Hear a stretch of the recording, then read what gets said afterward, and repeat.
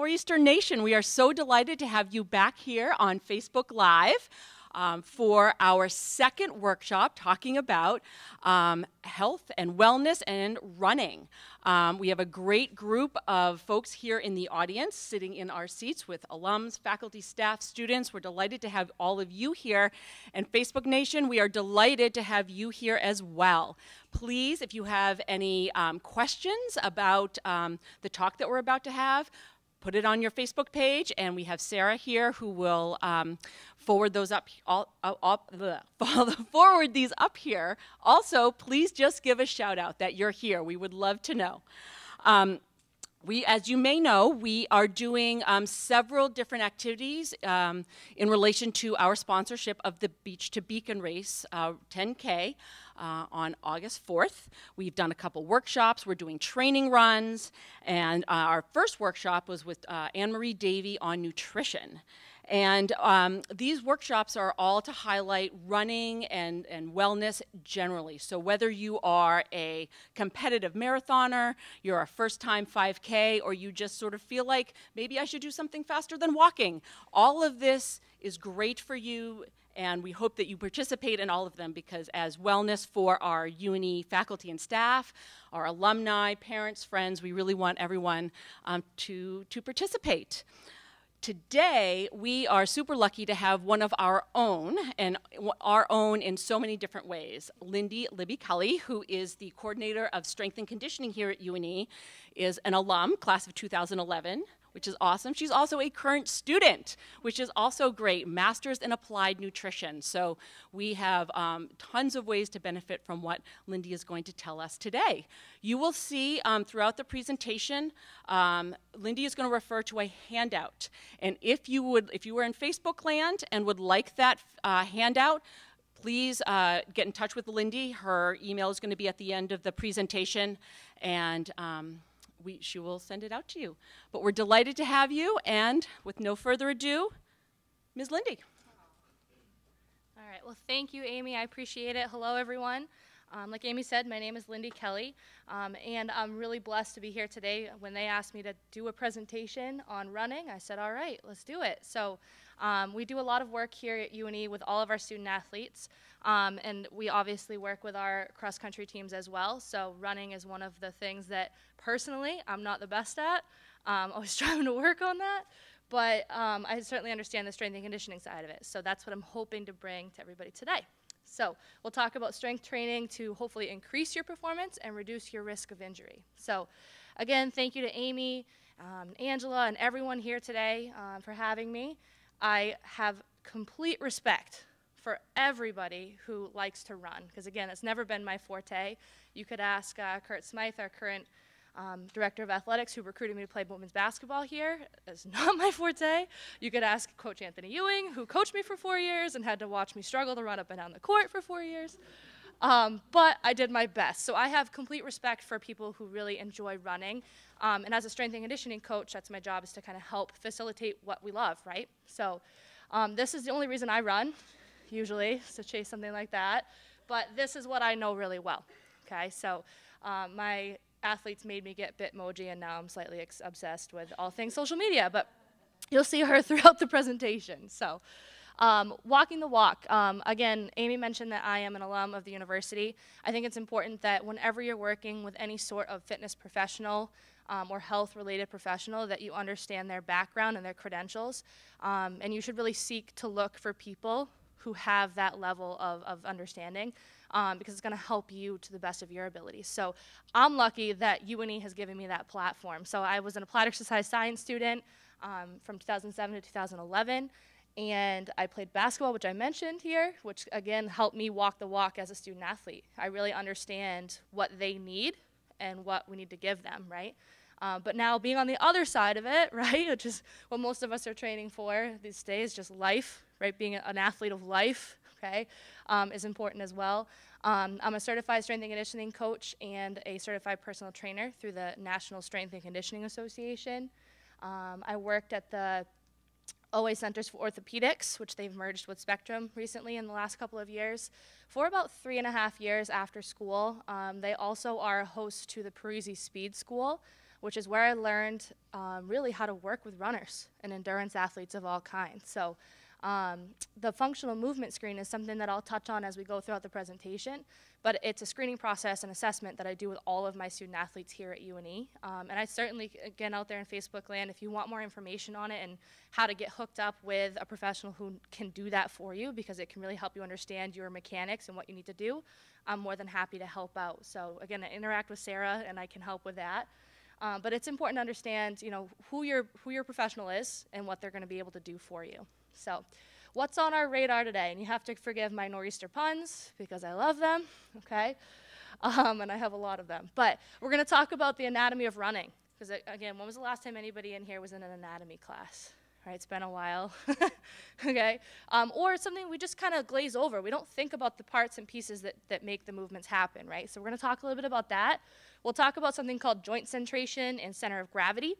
Um, we'll talk about reasons for common running injuries, the benefits of strength training to prevent said injuries and hopefully increase your performance, overcoming some of those barriers to strength training that are kind of unique to the running population and everybody as well. I'm not just saying that's a runner specific thing, but um, there's some things that we got to talk about there. Um, some quick movement assessments that you can do at home by yourself. You don't necessarily have to have a strength coach to work with you.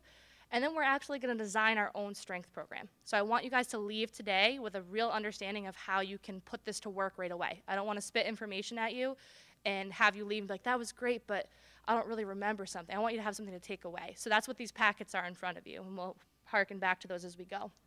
So, the anatomy of a runner, all right? Everybody has this in their packet right here. So, those of you in Facebook land, I can send this to you if you would like. Um, this is Kira. She's one of our women's cross country athletes here at UNE. Um, and one of the things that I do in our strength and conditioning facility downstairs is create athlete art. Like, I don't have enough to do. So, what I do is take a picture of an athlete in each of our 17 teams, and I kind of doctor it up here with different, you know, mechanics and movement patterns, and so they can understand what we're doing in the weight room, how and how it facilitates to their sport, what they're actually doing on the court, the field, the ice, the, the course, and all of those things. So, um, I wanted to make sure everybody had that to look at running mechanics and how they apply. So what we're going to pay attention to for the most part is this little graphic over here on the right. So I just wanted to cover some of the muscle groups that are really important for running, which is all of them.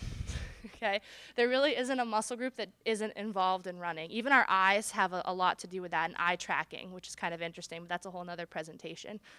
Um, but working from the ground up, which is something I do with all of my athletes here in the weight room and anybody that I'm training and working with, is understanding how we have to move from our feet up. And your feet really deserve a lot of love and attention and thought, and they're really an afterthought, right? Um, how many of you, if you don't mind sharing, have ever struggled with like plantar fasciitis or something like that? Yeah, common, right? Very common, okay? Um, or Achilles tendonitis, right? Again, yes, right? Um, we'll, we'll, see a lot of hands go up today because you're a population that really is uh, mentally you can push through so many walls, right? Um, but we somehow need to get you some love and some strength on the other end to help prevent some of it. So our gastrocnemius, which is our calf, and our soleus, so all those muscles around our ankle complex are helpful for propulsion. They push us off the ground. They're our spring complex, right? That help us move our foot and our ankle.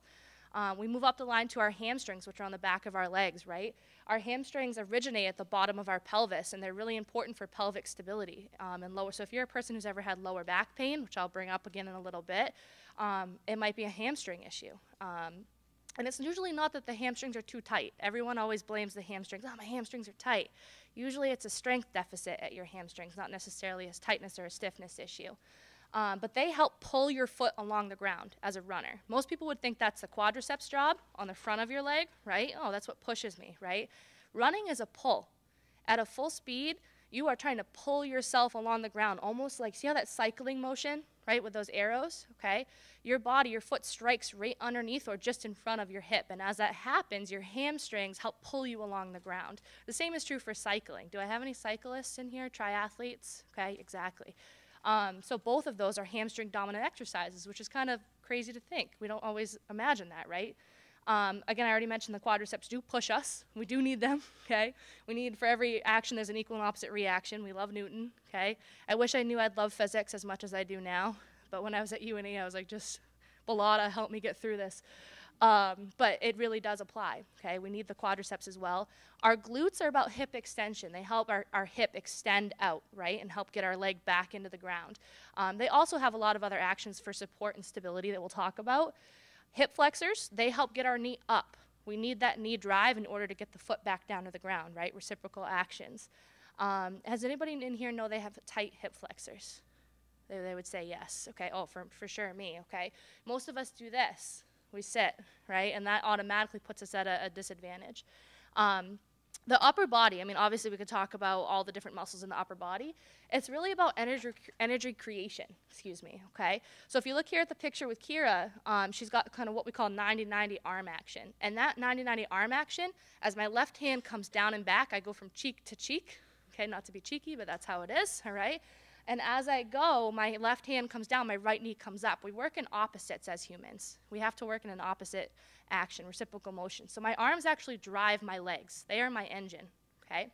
My core is about stabilization. It's about breathing. And most importantly, I think, well, breathing's pretty important, but um, it's about energy transfer. So whatever's created at my arms has to transfer through my, my trunk, through my torso, and into my legs. If I leak energy, as I go because my core isn't as strong as it possibly could be, that's when I run into issues and in trouble down the road. No pun intended. I didn't really mean to make that one. Um, and the shoulder girdle, again, is that, that reciprocal motion. It's what drives that arm, right? Okay. Um, generally, as runners, upper body issues aren't necessarily a big thing for us, right? Us, I should say you. Um, but they are important in what we do. And a lot of times they're the under, our upper body's forgotten as runners, right? Because we think it's my legs that carry me places. Well, it's your arms that start the motion. Never forget that, okay?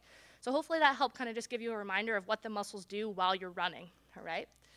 So I call this stacking up for success, and basically understanding that your stature dictates your function is a very important concept. So in the weight room downstairs, I actually have a plumb line that hangs on a string. And I have my athletes come in Alyssa's here with me, one of my athletes. She'll be helping us a little bit later. Um, I just did this with you the other day. Remember that? Okay.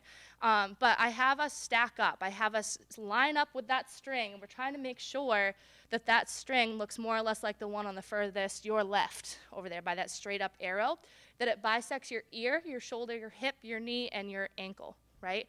If that happens, it's what we have, it's or what called is what is called um, joint centration. Okay, so that's when all of my muscles and joints are centered around my center of gravity. So your center of gravity is what holds you to the earth, right? We, know, we all know about gravity. Um, but it usually is centered not necessarily just the belly button, okay? I kind of have that circled over there, but sort of just below, okay? And it changes on the person based on torso length, okay, and height, and all those sorts of things as well. But we want to centrate around our center of gravity. And if we can do that, we're going to help prevent a lot of injury. Okay, we're going to help keep ourselves safer, right? Because we're using our body to kind of keep us upright in the right way. Um, when we start using muscles the wrong way, okay, or joints, asking joints and muscles to not do their job and to do another job, that's that's tricky. So one of the other things I want to talk about is called the planes of motion, the three planes of motion. So as a runner, we kind of, you guys kind of live on this sagittal view right here, okay, that frontal left and right here. So when you run, it's very much left and right. Would we agree? Okay, that's what it seems like. We really don't do a whole lot of left and right, correct? And we really don't do a whole lot of backward ever. That would be kind of weird if you were running backwards in a race, okay? Um, unlike a court sport athlete like basketball, just as for an example, obviously they run forward, but they also have to go left and right and backward as well, okay? Um, so you're unique in that way, that you live in that plane of motion, that left and right. So my hands and my knees never really cross left to right. I'm always working on one side or the other, okay? The frontal plane, which kind of if I turned sideways, right, if you were going to take a knife and cut me right down the middle and I fell into a front and a back half, okay, that's the frontal plane. Um, not much happens on the frontal plane either for runners, okay? That doesn't mean we still shouldn't train it, which is why I'm putting this up here for us. Um, and then the second one is the, or third one, excuse me, is transverse. Okay, that's rotation across your center of gravity, all right? So transverse and frontal are ignored often. They're kind of like the forgotten friends, all right? Sagittal is always given more kind of thought, right? But in your strength program, you want to address all three planes of motion. Even though you may not do a whole lot of rotation, okay, or a whole lot of hip hinge as what we call frontal or jumping jack style, okay, working that front to back half, it's still important that it's strong and healthy because that's going to support and better help your sagittal movement in that forward direction, which again, you're trying to finish a race, right? That's where we want to move to, okay? So does that make sense? Yes? Okay, awesome. So this is my soapbox up here, all right? This is my uh, plyo box in the weight room. Um, I was creating this little Bitmoji last night, and my husband thought I was just playing. I'm like, I'm lucky that I get to play all the time. This is great. Um, but this is my soapbox, okay? And as a strength coach, this is one of the things that really gets me, okay? Movement quality plus strength equals healthy, high performing athletes. The movement quality has to come first. So if we're trying to run a lot of mileage, or we're trying to get in the weight room, which is admirable, okay, and, and start strength training, that's awesome. But we never want to lay dysfunction on top of poor movement, right? We never want to, or I shouldn't say, um, we don't want to add strength to a dysfunctional pattern. Does that make sense as well? Okay. So we want to own a movement. We want to own that movement pattern and then gain strength to support it. And that helps us run efficiently and safely. Okay. Um, and to do that, you want to incorporate some sort of assessment into your movement quality work. Okay, and the warm up is a great place for that, by the way. And I, in this packet, you guys will see there's a warm up in there for you that addresses all three planes of motion. Okay, um, and it does kind of cover assessment because your warm up should be a quick little check in with your body, if anything, every day. How many of you foam roll? Does anybody soft tissue quality? Excellent. Okay. If you don't and you'd like to learn more about it, again, I can certainly help you with that. Um, but taking care of your muscles and your soft tissue quality is, is vastly important. It's very important. So it's always a part of our of our training here at UNE. Um, and again, with anybody that I'm working with, my athletes know they come in, they grab their foam roller, and they do their work right off the bat for the first five minutes or so before their session. That's really all it takes. Some people think it takes a lot of time to do your foam rolling and those sorts of things. Um, really, 30 seconds per muscle group. That's all you need. So three to five minutes, and it's a quick thing, okay? Um, but that kind of helps you self-assess every day. You should assess how you're moving and how you feel. How many of you know, like on a day, you're like, oh, today is not a good day, right? Like my miles are going to be a slog today, okay? Um, we all kind of have been there, right? Whether whatever motion or movement or sport we're doing. Um, but your warm up and your foam rolling can help you feel better, and it can also help you understand where you need to go. So I just wanted to get that out of the way. We got to make sure our movement quality is perfect first, or as close to perfect as it can be, and then get stronger. So when the road fight back, fights back, right? We've all. How many of you have had an injury of some sort, and you don't have to share what it was, but hands go up, right? Okay, almost all of us have dealt with something at some point in time um, that's kind of nagged us or kept us out of competition. We don't, we don't want that, right? We want to get back as fast as we can and prevent it from happening in the first place if we can. So I always tell my athletes here that my number one statistic is not what they can do in the weight room. It's not their, their bench press, it's not their squat, it's not their vertical jump. Those things are awesome. I love statistics. Um, I'm a nerd for them, but at the end of the day, my number one statistic is their availability. If they're able to play and wear their jersey and do what they want to do, then I've been successful as a strength coach. And if I can't, can't prevent everything from happening, right? Um, and if they do get hurt, hopefully, I, in conjunction with our great athletic training team, we can help them bounce back quicker, right? Help them get back faster and better maybe than they were before, okay? Um, so endurance athletes are just at a, an at-risk population, and I'm speaking to the choir probably about it, right? Okay, um, it's just due to the highly repetitive nature of movements, right? That you do. Running is a cyclical thing. It's very much the same thing over and over and over and over and over and over again, right? As well as swimming and biking.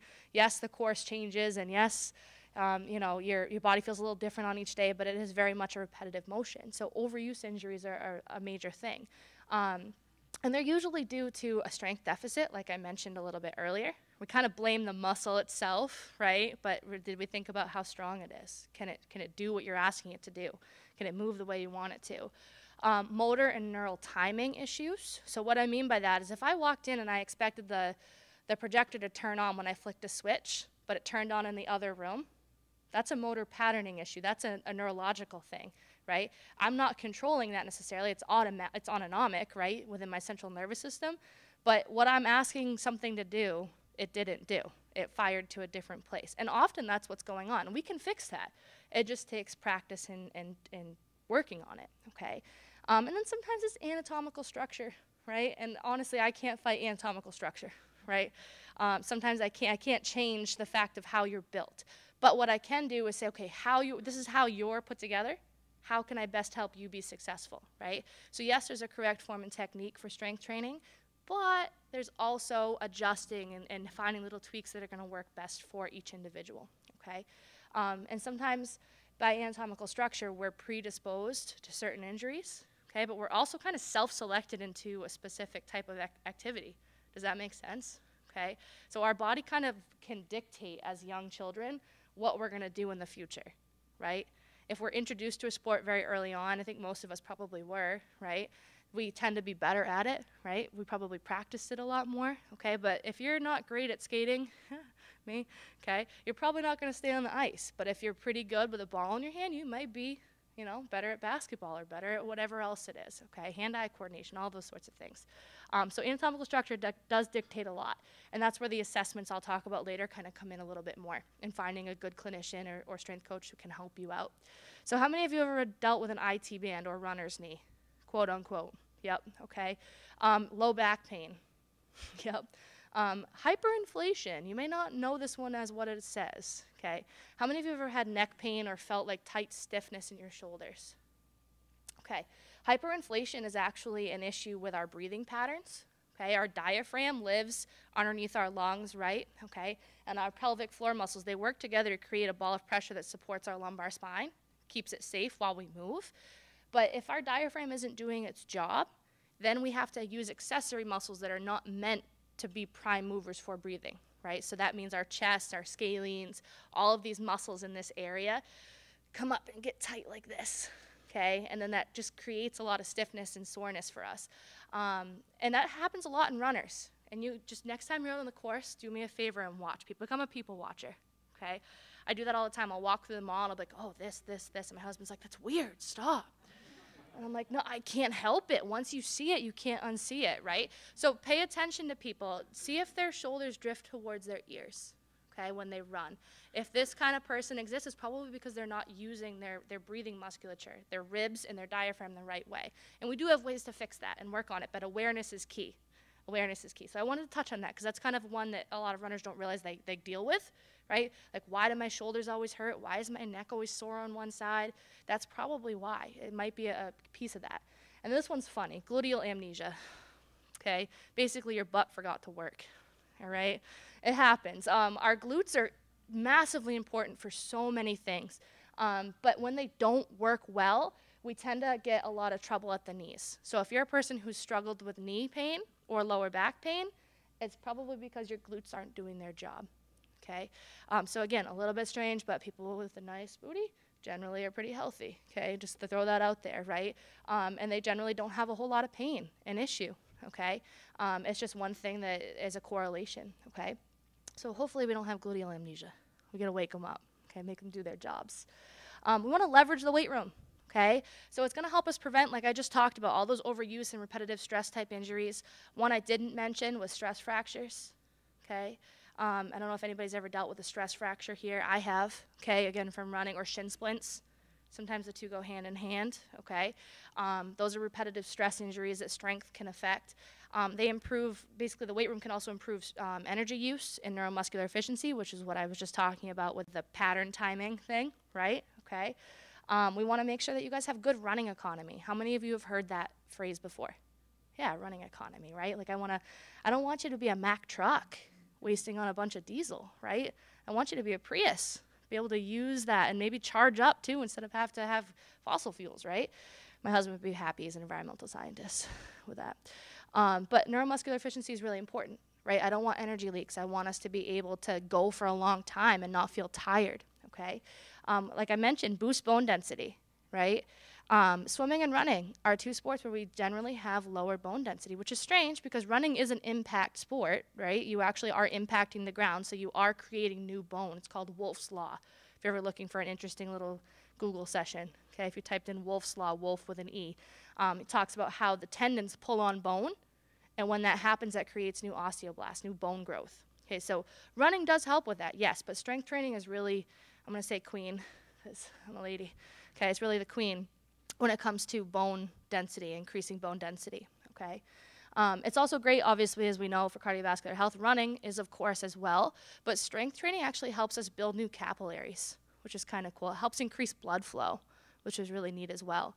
Um, and it's also obviously very good for mental health too. There's been a lot of research done on how it can affect you running too. We've all had that euphoric state, runner's high, right, with endorphin release. Okay, strength training offers a very similar benefit. So if you're ever kind of you know on an off season or an, a downtick in your mileage, strength training is a great way to still get that feeling and have that mental kind of boost throughout the day. Um, it definitely can increase overall muscular endurance. You are endurance athletes, right? So we want those muscles to be able to fire all the time and repetitively do it without getting hurt, right? Um, it can enhance your overall speed levels on race day. So, I mean, everybody wants to have a PR, I would imagine, on most races, right? We'd hope, we'd hope, okay? You can still keep getting PRs, doesn't matter your age or your level, okay? Um, but we wouldn't do it unless we enjoyed being slightly competitive, I would imagine, okay? At least with ourselves, not necessarily always with others, okay? Um, but it can increase your overall speed, which is important for your final kick, right? When you're coming in and you're like, depending on your race strategy, and you're trying to get in for that last little burst, right? Sometimes we just don't have it. If you've been in a race where you feel like, Ugh, I don't have that last kick, okay? Or you're trying to, even if you're an athlete, by the way, this applies to anybody who runs, not just endurance athletes, right? Trying to get to that last ball or that puck or whatever it might be, um, that last kick is important.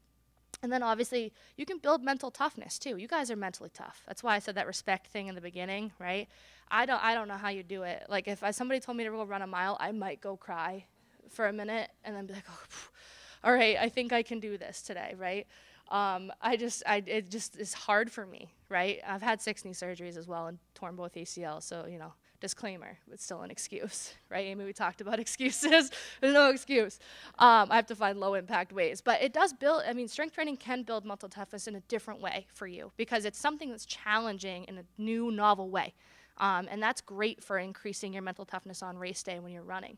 Um, and then hopefully it can clear up nagging injuries. We've already talked a little bit about injuries, but we want to try to clear those up and see if we can help you feel better. It's something that's nagged you for years, right? If you get in the weight room and be consistent for a little bit, you might notice, oh, wow, my back doesn't really hurt anymore. Or that shoulder thing I had, I, don't, I haven't noticed it in a few weeks, right? Um, it's kind of interesting that way. It's kind of like magic. So, we're going to talk about lifting barriers to, uh, well, lifting, okay? Um, we just, I want to debunk some common myths that we have out there, okay? Um, especially with running and strength training. These are things I've all I've heard every one of these, okay? Um, whether it was at the OA Performance Center or here at UNE or training other clients of my own. Um, I want to try to help us kind of get over this. So it'll slow me down, right? Or make me big and bulky. Strength training will give me big, bulky muscles and I won't be as fast. Absolutely not, okay? If you're trying to be a bodybuilder, maybe, okay? So there is a way to train to help us not be like that, but we're going to gain muscle density, right? Our muscles aren't going to get big and bulky necessarily, okay? They're going to just get more firing ability, okay? They're going to get stronger and be a little denser, okay? That's it, right? Um, running is enough of a workout for my legs. How many of you have kind of heard that before? Or I don't need to strength train, right? Okay, because I'm, I'm going to run, so my legs are fine. Well, they're good at doing that one sagittal motion, right? But they're not getting the left and right, they're not getting the backward, okay? They're not getting the plyometric movements, okay, the power things. So we do need to do more than that. Um, I'll be too sore to run the next day. Every time I lift, I'm super sore, and then I don't want to go back in the weight room, and I just I want to avoid it, right? Well, yeah, you will be a little bit sore, delayed on muscle, onset muscle soreness, DOMS, okay? But the more consistent you are, the less that will happen. The less and less it will happen, okay? Consistency is key, right? I already have an injury. Why would I want to go do more? okay? We laugh at that one, but I hear that one all the time. Well, I'm already hurt. Like, why would I go do more to myself? Well, again, I've already kind of talked about that, right? Adding strength and moving well is, is going to help us avoid said injuries, and it might even help us heal faster. There's actually research on that as well. Um, but it's one I hear all the time. I'm hurt. I can't lift today. Hmm. You have three of the limbs and a core, so let's figure that out. There's always something we can do. I love finding those sorts of things. Maybe it's because I've been hurt so much myself. Okay, I'm kind of good at working around things. But I mean, again, Alyssa, I can attest to that, right? Oh, you're hurt today? Well, cool. Let's do something different for your upper body, or let's do this with the rope. And they're like, oh my God, she's crazy. Um, I don't have enough time. Is time a factor for us? Like, I barely have enough time to get in my mileage. I don't have time to get in the weight room as well, okay? Or I don't have access to a gym, so it's not going to work for me. I hear that one all the time over the summer, especially, okay? Um, you really only need, we'll talk about it in a little bit, two 30 minute sessions a week. That's an hour. An hour to two hours of time a week, right? There's a lot of time in a day, and I'm busy too. I've been very, very demanding career. I've got a three-year-old at home. I'm a student, as Amy mentioned, okay? Um, but just finding time is really key, okay? If you can squeeze in your mileage, I guarantee you can find a half hour for yourself, okay? Um, blank told me not to because it conflicts with my training. Someone told you not to, whether it's a coach, right? A doctor, which you should listen to your doctor, I should say that. But I have heard that. My physician told me I shouldn't, like, strength training's not for me. Which I'm like, what physician told you that? Okay. I used to be in charge of training the fellows at the at the OA Performance Center, um, and I was like, I'm in charge of the doctors. Like what? Um, but they loved it because they're like, now I understand why this is so important for my athlete. You know, the athletes that come to me, right? So again, just don't always take things for face value. Find information from different areas. Don't just accept one way of thinking. Okay. Um, I have no idea what exercises I should be doing. Has anybody ever felt that way? Like I'd love to start, but I don't really know where to start. Okay um, that's where hopefully I come in and I can help you out, okay? I would love to be that person for you. And I've tried doing it, I got, it got boring. I don't want to do it anymore, which I'm like, running for me, like over, I'd be like, uh, I'm like, well, okay, I, I respect that, but at the same time, like, they're like the road changes, the scenery changes. I'm like, oh my god. So again, respect. I have it's complete respect. Okay, we just have to find a way to meet in the middle. It got boring because you didn't change your program okay? And you should change your program every four to six weeks. It should be new, okay? And every once in a while, I spice something new in for my athletes all the time, just to kind of keep them on their toes and make sure they're thinking, right? Um, so that's why we're going to actually design a program in a little bit because I want you to understand how to do it and then how you can employ it in the future, okay? So hopefully that helps kind of clear some of those things up for us, okay? Um, so do the simple things savagely well. That's all it takes, okay?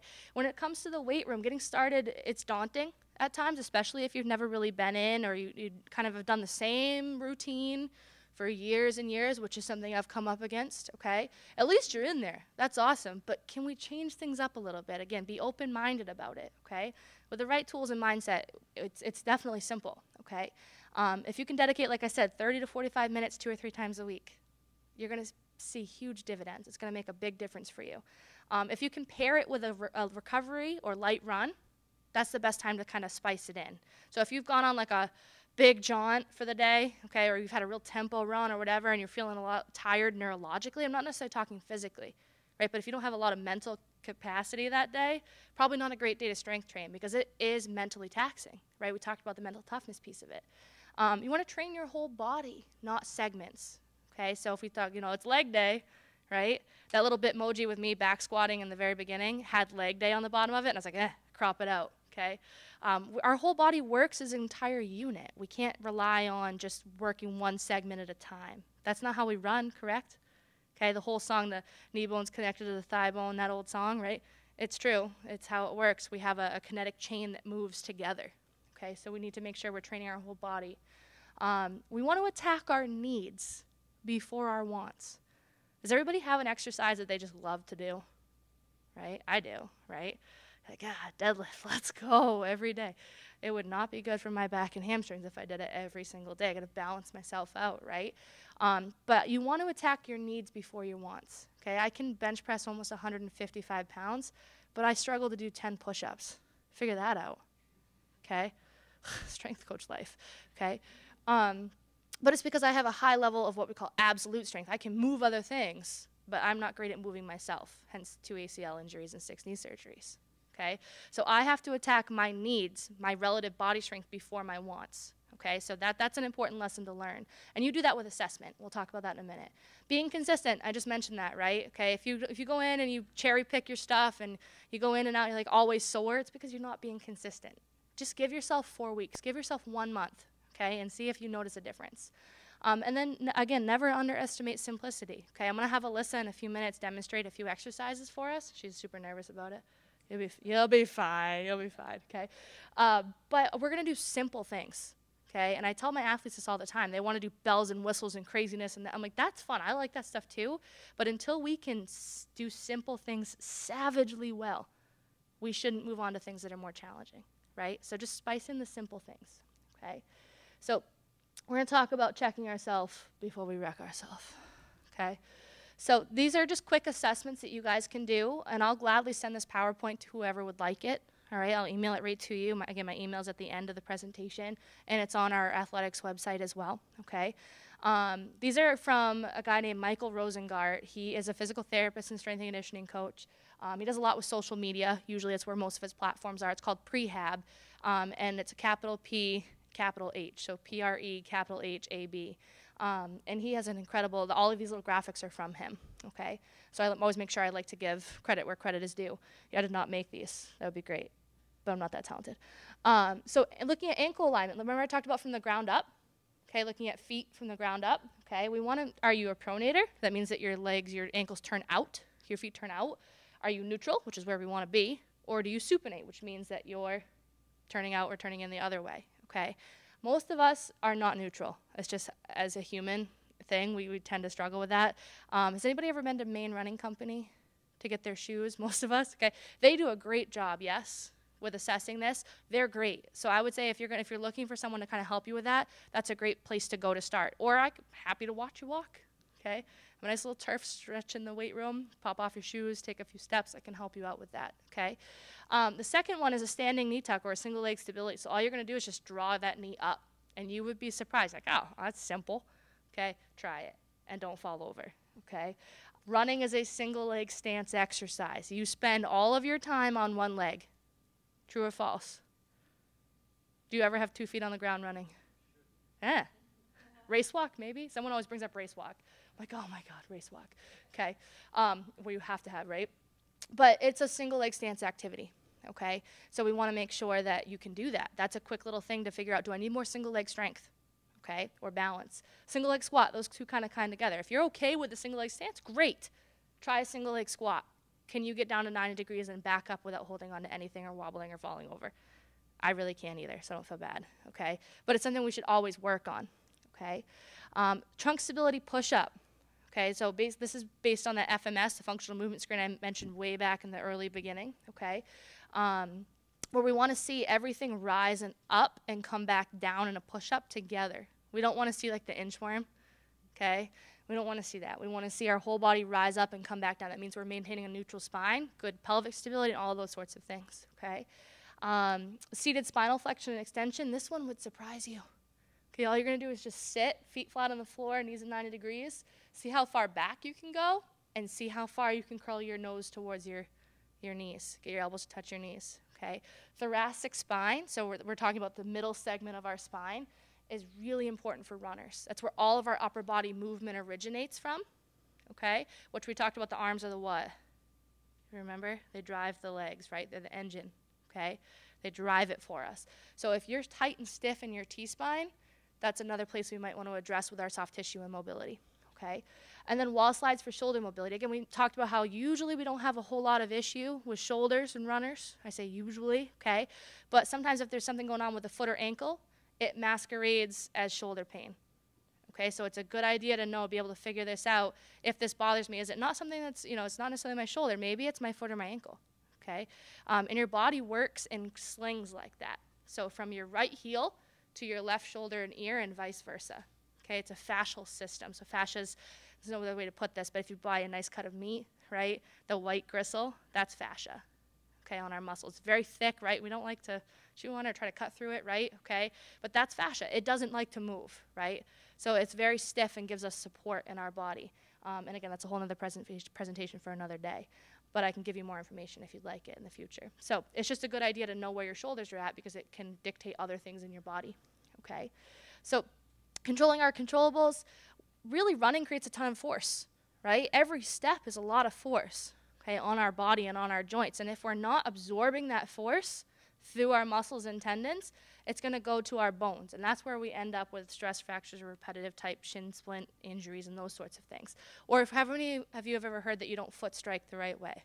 That you heel strike or forefoot strike or whatever it might be. Okay, we want to be a midfoot strike generally. We Don't want to be on the balls of our feet really, unless we're sprinting, um, or in our heels unless we're in the weight room. But with running, we want to be in a midfoot stance, right? Okay, um, but we want to be able to control those ground reaction forces. And these are three ways to do that moving mindfully, okay, through each phase of the lift, right? We want to incorporate what are called eccentric and isometrics. Okay, so if I'm going to make a bicep, okay, like a where's the beach muscle, okay? Freddy's that way, right? Fortune's that way. But as I come up, this is concentric. My muscle gets tighter, okay? It stiffens and contracts. If I was to hold it, that's isometric. If I was to lengthen it, that's eccentric. And eccentric is always harder, okay?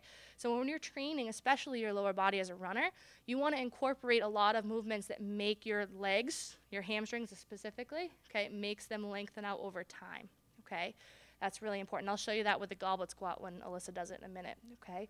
Um, and you want to train all three planes of motion. I already mentioned that like three or four times. You guys get that it's important, right? Okay, making sure we're addressing our whole body, not just one you know, specific plane of motion, okay?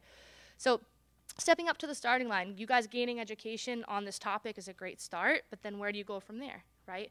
So your program should include these three components. Okay, should always include a warm up. Like I already talked about, you want to address your soft tissue, the joint mobility and stability. Okay, um, you want to increase your core temperature. You want to actually sweat.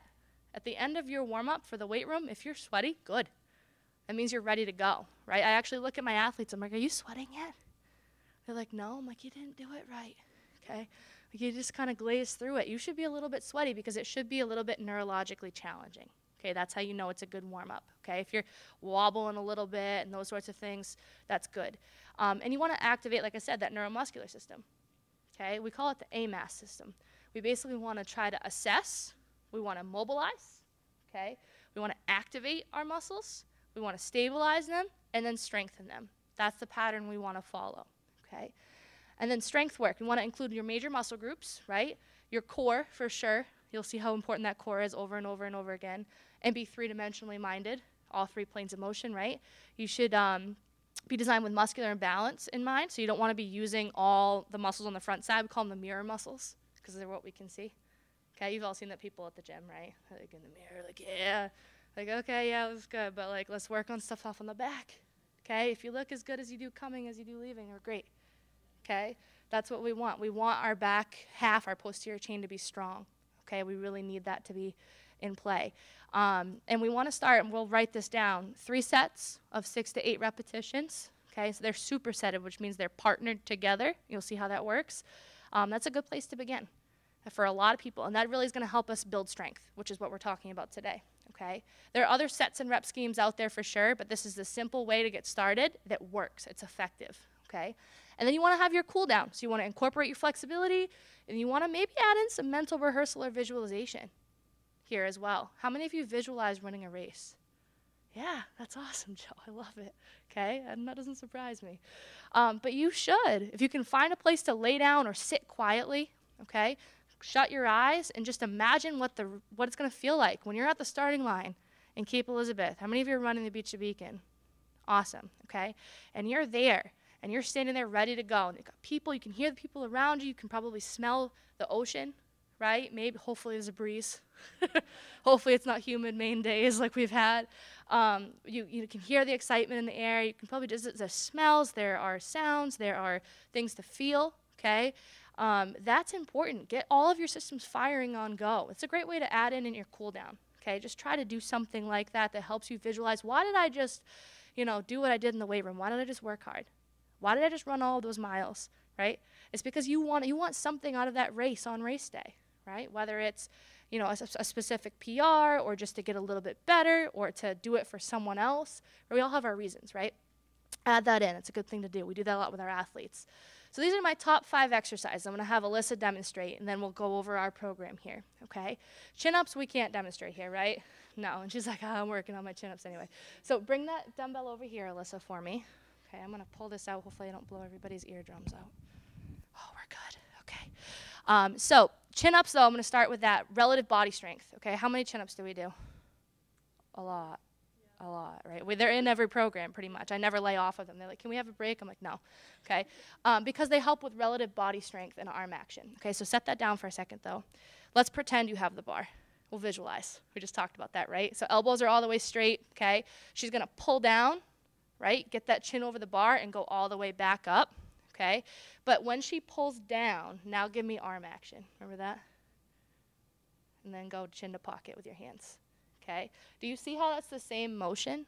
Right? Okay. Chin ups help our relative body strength and they're excellent for helping us work on arm drive, which I said was the ignition to the engine, right? Okay. So the next one we're going to uh, learn right here is called a bird dog or a dead bug. Okay. So lay on your. We'll go hands and knees first. So we'll do our bird dogs. This is something we stole from yoga, okay? But she's got her knees directly underneath her hips, her hands are directly underneath her shoulders, and she's got both of her toes tucked in the back, okay? So she's gonna extend her right arm out and her left leg back, okay? And she's gonna do so keeping her pelvis facing the ground. So we don't want this big twist. That means we're losing pelvic stability, okay? So she wants to be here, and we're gonna try to do it without shifting. Yeah, harder, right? Okay, did you guys see what I just did there? Okay, she had shifted way over. Okay, so Alyssa, just spin for me real quick.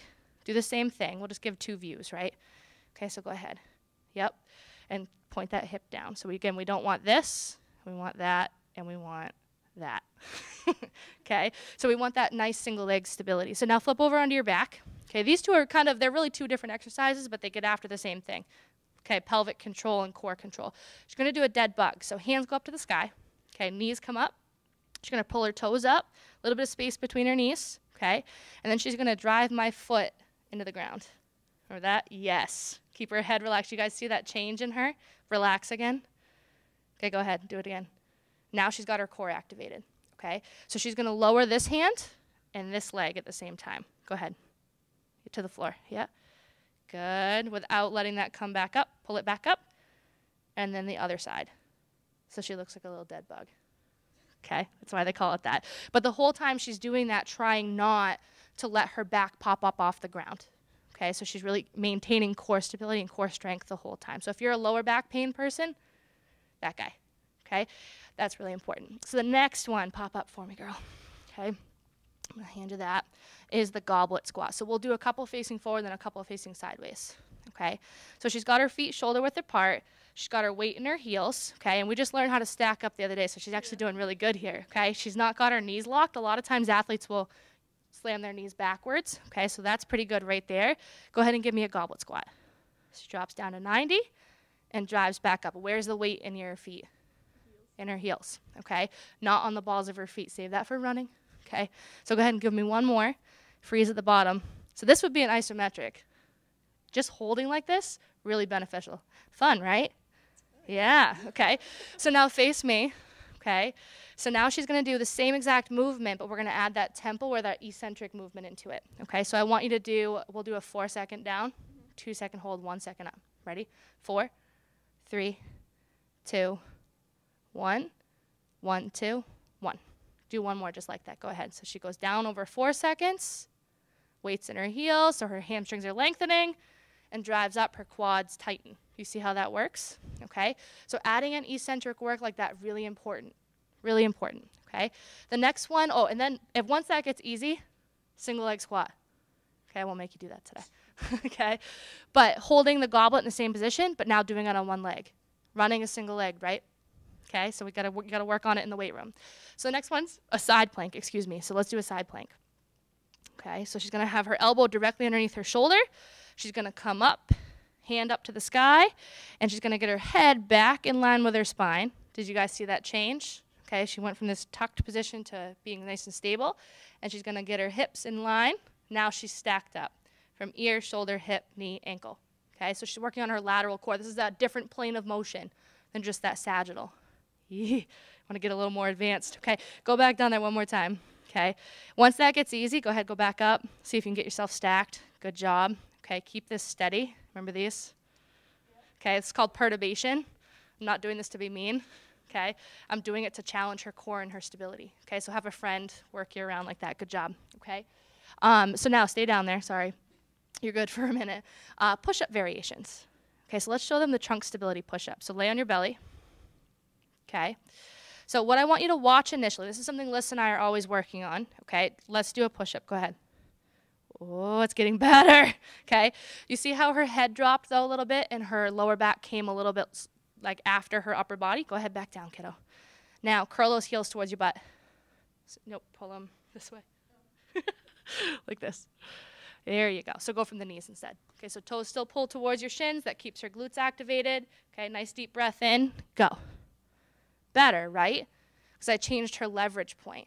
So even going from the knees, everyone's like, oh, I can do push-ups from my toes. I'm like, that's great, but you can't do it without inchworming. Okay, so let's get better. Let's go back one more time. Okay, so this little drill right here, doesn't matter how good you are at them, going back to this, okay, she's gonna get her back turned on. She's gonna take a deep breath in to fill up her diaphragm, okay, get her diaphragm to work, and then she's gonna squeeze her butt and go. Boom, much better, right? That's cleaner mechanics. It's gonna help her stay stronger and safer, okay? Now, the last one. You tired yet, Liz? Okay, good. Okay, up on your feet is a single leg deadlift. So we're gonna go single arm, single leg. Okay, so she's gonna have the, we'll put the dumbbell in your left hand actually. Okay, so she's gonna stance on her right leg. So soft bend in her right knee. Okay, she's got her shoulders and her hips squared up. She's stacked up like the start of that goblet squat.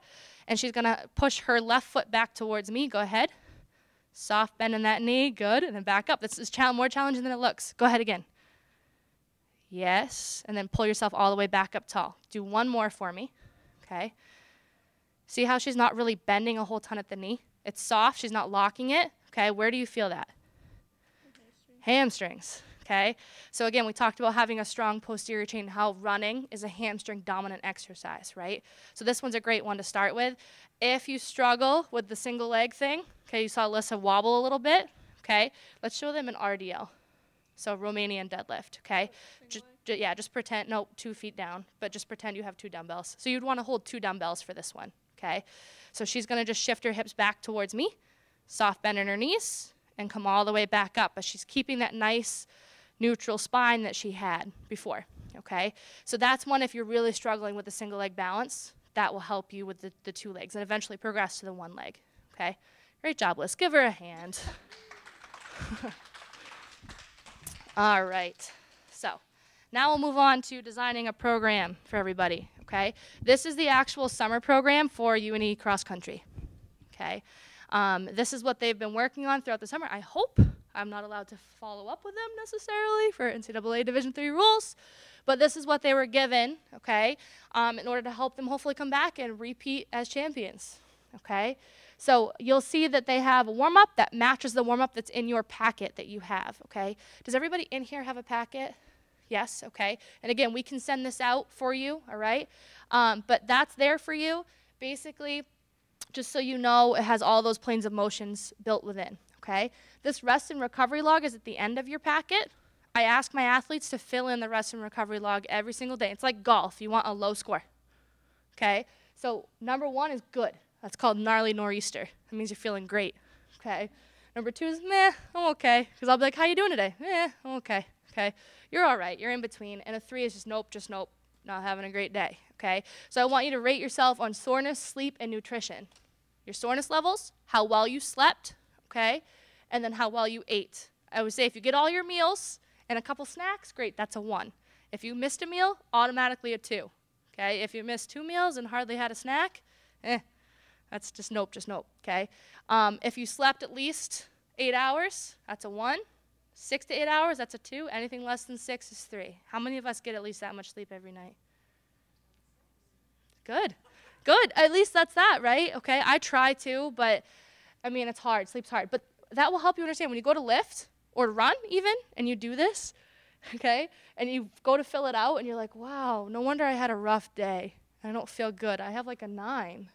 Okay, that's sad, right? You want to be closer to a three than a nine, okay? Um, this is their workout. I know this is hard to see, okay, but I just wanted to show you what it looks like. It looks just like the template that you have in your packet if you flip the page, okay? Um, so this is what they have. They have three days a week. It takes about 60 minutes. They're collegiate athletes. I hope they, they can have the extra time to figure it out. They should anyway, okay? Um, and they know that they're supposed to do it on a day where they do a training or a, you know, a, a light recovery day, okay, for a run, or they don't run, okay? Which for them is like, oh, I always run. I'm like, nah, let's focus on a few things, okay? So we're going to learn how to design a program just like this right now, okay? So basically what I want you to do is somewhere on that packet, I think there's a spot that says soft tissue up the top, right? Okay. I put in some options there for you, but I want you to write down what you know is stiffest and tightest. Okay, so go ahead and write down three things that generally are pretty stiff and tight on you. Oh, perfect. Thank you. Okay. Don't have to overthink it. Just like if you know that your calves are tight or your upper back's usually sore or your hamstrings or whatever, okay? There's a foam rolling drill for it, okay? So I just want you to be aware of those things for yourself. The next thing I have pick three to five of those stability or mobility drills. There are five, I believe, on the on the front of the packet. Okay, but you can keep the warm up as is. All right. Um, but I do have a YouTube channel that has videos of everything, so you can also pick and choose from that. Okay. And then we want to build your supersets. Okay. So if you guys find A1 in your little packet there, a lower body push is our quadriceps. It's quadricep dominant, so that would be a squat. Okay, so I want you to write squat in there. And then you can go to my YouTube channel after this and you can pick which type of squat you might like to do. Does that make sense? I'll show you how to do that in a little bit. So write squat. Okay? Um, and I want you to write 3 by 8 in the first square next to it. Okay, so we're right here. Okay? A2 is an upper body pull. So that would be a row, yep, or a chin up variation. Okay, so you can put row in there okay, or chin, or chin up, I should say, okay, or pull up. And again, three by eight, so you're going to fill in that three by eight all the way down, okay. B1 is a lower body pull. So that would be like what Alyssa showed at the end there, that single leg deadlift. Okay, it's a hip hinge or deadlift dominant type pattern. So write in deadlift. Okay. And that sounds scary. It's really not. You could do so many different things with it. You could do a hip bridge. Okay, you could do stability ball leg curls. There's lots of variations. Um, upper body push would be a push up, like Alyssa showed, okay, or a dumbbell bench press or something like that, okay? So it's chest dominant. And then C1, core anti rotation. That sounds so fancy, okay? It really is just like a bird dog that I showed you, okay? You're controlling that rotation, right? Running is rotational in nature. Your pelvis is rotating a little bit every step you take, but the more we control it, the less trouble we get into with our ankles, knees, and hips and lower back. Okay, so that would be like that bird dog, for example. Okay, um, a carry variation. Alyssa, we'll show real quick. Show me a farmer's carry. Okay, I know we're to catch it in the camera in just a second. She just walks and carries it like a bucket. Switch hands, so it's by the camera, kiddo. Yeah, there you go. We'll stage it well. Okay. So she's just literally carrying weight and walking, but she's maintaining that stacked up posture that I showed you in the very beginning, okay? So you can write farmer carry. There's lots of different variations, but farmers are great, okay? Carry, I love farmers. They keep us fed, okay? But carry the bucket. Um, and then it says four by, uh, or three by 40 yards in there, some distance, some sort of distance, okay? And the core anti-rotation, I'm sorry I jumped over that. I put in 10 repetitions because it's core based. So it's a little more endurance related, okay? So D1, I have breathing or yoga. Okay, in my YouTube channel, you'll be able to find all kinds of stuff like that. All right, um, but breathing, just working on breathing. Even if you just lay there, is it savasana? Is that what it's called? You just lay on the floor and breathe. Great, it's so good for us. Okay, it's great for recovery and so many other things mentally. Okay, um, but it really does help your strength training. Okay, so I have 45 seconds of that in there. And then D2 is a load and land plyometric. And you're like, oh, I haven't jumped and I don't know how long. Running is plyometric. It is a series of tiny little single leg hops for miles. So don't tell me you don't do plyometrics. You're really good at them, okay? You're really, really good at them. Um, we have a lot of different little plyos we can do. Ladder drills are great for that, okay? Um, I used to love pulling out ladder drills with my my senior group at OA, I used to work with a group of people who were at least 65 or older, and they love the ladders. Okay, there definitely is always a way you can add things in, hurdle drills, little jumps on the floor. Okay, but that kind of gives you an idea. I put by three. I don't, I don't need a ton of repetitions. I just need quality. Which, by the way, that's another soapbox moment. Quality over quantity always. Quality comes first. Okay, so eventually you'll see there's three by eight for three weeks, and then it drops down to three by six. When it drops from three of eight repetitions to three of six, what do you think I want you to do with the weight? Yeah, go up.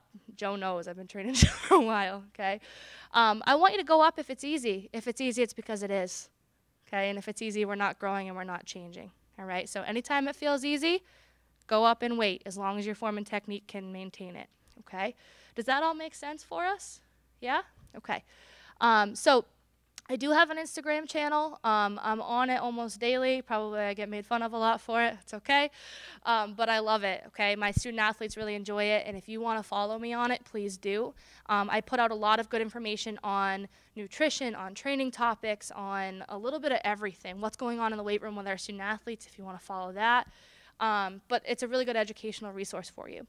And then we also have the YouTube channel, okay?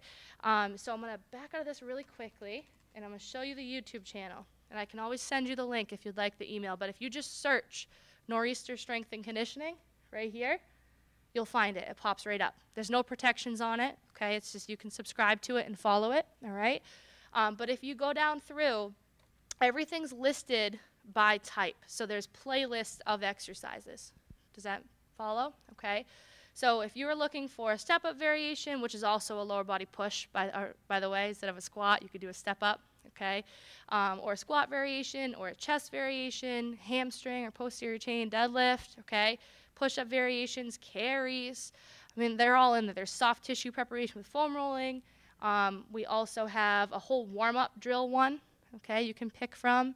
So there's all kinds of options in here of me doing all these little things. More of me. Aren't you lucky? Okay. Um, but feel free to use this as a resource, okay, and build your program as such. So I just paired a, a lower body push with an upper body pull. That's muscular balance. Anterior dominant for my lower body, posterior dominant for my upper body. I'm just balancing myself out, and it's a great way to, to initially start building strength in the weight room, okay, without overtraining any particular type of muscle group, all right? So, on closing, my friends, I'll get this back up here for us, okay? Oh, come on.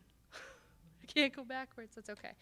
Um, we'll go like this from current slide, right? Okay. Um, but this is my email. Okay, it's llibby2 at une.edu. I kept my student email. Okay, on purpose. It does mess people up though, so I apologize.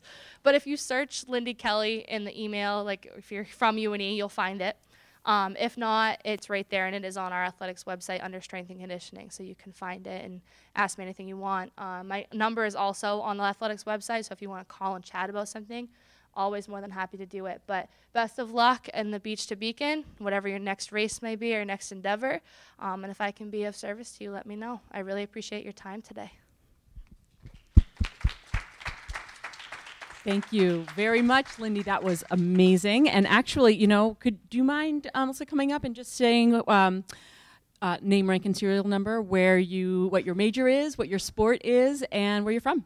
All right.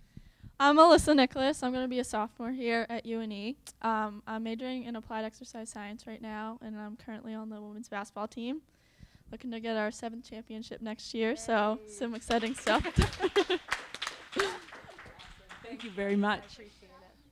And uh, are there any questions for Lindy um, that we would like to address right now? And I will come chase you down with the microphone. Anybody? Yeah? Nutrition, anything, whatever. It doesn't have to be about what we talked about today. Um, so if you find though that you're getting the same injury again and again mm-hmm. and again, even though you're doing some strength training, yep. is that a good time to have like a, an assessment? Yes. To be like, why is it that you keep hurting yourself in that same, and how would you go about doing that? Definitely, great question. So, um, this is something that pops up a lot with my cross country athletes for sure, and all of my athletes here at UNE too, um, where generally, you know, you're just trying to do th- trying to do the best you can and you're not really sure why it keeps happening, um, that might be a great time to then bring in, if you have access to an athletic trainer or physical therapy, um, so I'm really cognizant of scopes of practice. It's really important. So that I, as a strength and conditioning coach, my job is not to diagnose an athlete, right? I can troubleshoot, but if there's consistent or persistent pain that just will not go away, um, I would definitely run some assessments on that. But I'm not gonna. I I shouldn't give you basically like, oh, this is how you treat that. Does that make sense? Um, sometimes it could be a chronic thing with inflammation or different things like that too, without knowing your situation. Um, but that's always a good time to maybe pull in pull in a physical therapist into the into the game. Um, and again, there's there's lots of, of great individuals in the in the area. I can definitely point you in the direction of, of someone who could help, um, who specializes in endurance athletes too. Um, but generally, people are kind of nervous to go do that because they don't want to be pulled out of running right? Like I don't, I want to compete. Like same thing as our athletes here. They generally they always hide things, but they're they're tough. You guys are tough, right? So you're like, ah, just I'll keep battling through. But at some point, pain is an indicator. It's telling us something's wrong. So um, that would be my best course of action. Definitely, we could, we could, I'd be happy to to run some assessment and see if I can maybe troubleshoot it and see what it is. But if it is, you know, one with the functional movement screen that I mentioned in the beginning, one of the you score at one, two, or three. So zero is a presence of pain. That means it hurt, right? Like if it hurt you right away, you'd tell me, oh, that hurt. Um, one means eh, couldn't really do the pattern I was asking you to do. Two means you did it, but you cheated to get it done. And we are master compensators, which is fine. Twos are great, actually, because we compensate every day.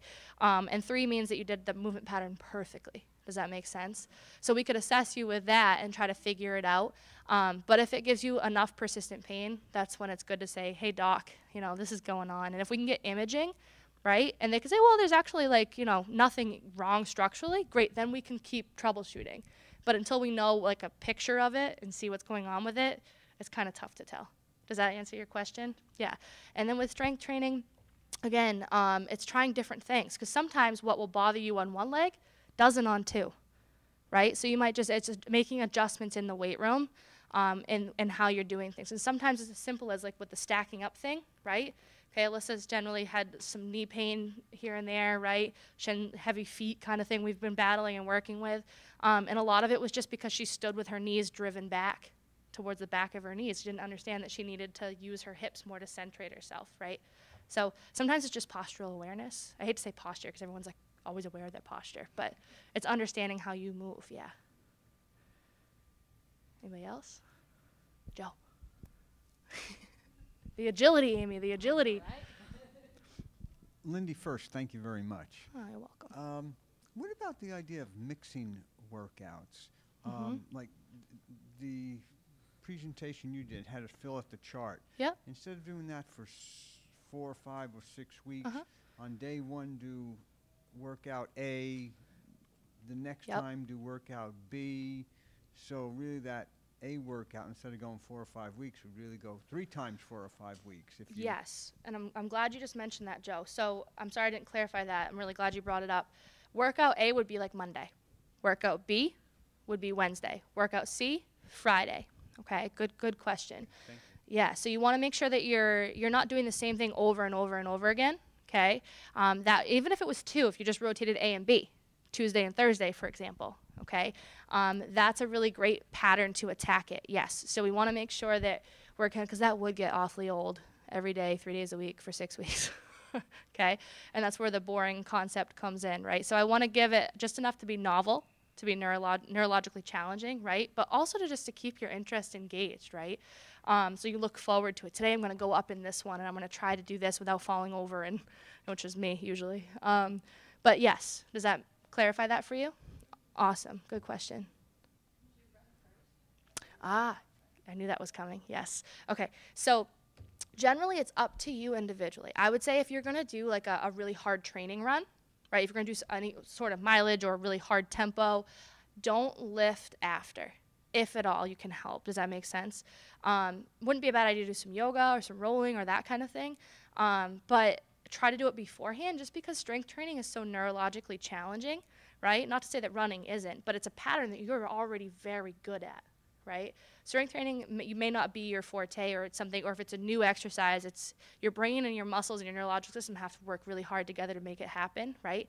Um, so it's better to do it before, I think. And again, there's there's kind of two camps on that too. Like, oh, you get a better, um, you know, training effect if you're already tired afterwards. Like, eh, depends on what your real goal is, right? But if you want to stay safe from injury and you want to see gains, a good time to do it is either before a hard run, okay, which if you can help it, I would love it if you did it like in the morning, did your run in the evening. Does that make sense?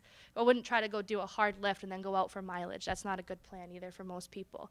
Um, but you could also, if you have a training run planned or recovery, or excuse me, a recovery run or a light run, um, then I think you'd be okay to do it right before or right after. Um, but you would also know, like, based on you know workout A, B, or C, right? If B really just gets you, like, oh, like that one, I'm always gassed after that one. Maybe you don't run at all that day if you can adjust your training schedule, right? So you have to kind of tinker a little bit individually. It's just like nutrition. If you you know what you can eat before you race or before you run, right? It took time to get that. you didn't know right away that hey i can have this and this and not and my, my stomach feels good right so it just takes some all some time individually too does that help awesome yeah anybody else no all right Well, again, Lindy, that was amazing. Thank you so much. And again, another reason why we're so lucky here at UNE to have people like Lindy here to share this great knowledge and enthusiasm. Uh, and thank you, Alyssa, for being here as well. And, and thank all of you who attended and all of you as well. Um, good luck. Have fun. If you have any questions, um, please reach out to Lindy. yeah fill my inbox please all right. Thank you. And signing off from UNE.